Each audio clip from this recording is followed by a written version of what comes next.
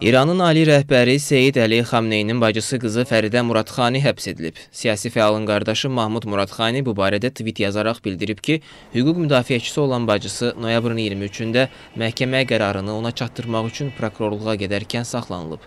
Qeyd edək ki, Fəridə Muradxani bu il yanvarın 13-də Tehranda evinə qayıdarkən həbs edilib və may ayında 10 milyard tümən girov qarşılığında və istintaq müddəti başa çatanadək Tehran vilayətini tərk etmək məhdudiyyəti ilə müvəqqəti azadlığa buraxılıb. O, həbsindən bir neçə ay əvvəl məhbuslara dəstək kampaniyasına start verib. Xatırladaq ki, 2018-ci ilin iyununda da o, Sənəndəc şəhərinə getdikdən və İrana qarşı fəaliyyətə görə edam edilən siyasi məhbus Ramin Hüseyn Pənahinin ailəsi ilə görüşdükdən sonra həbs hapsedilmişti.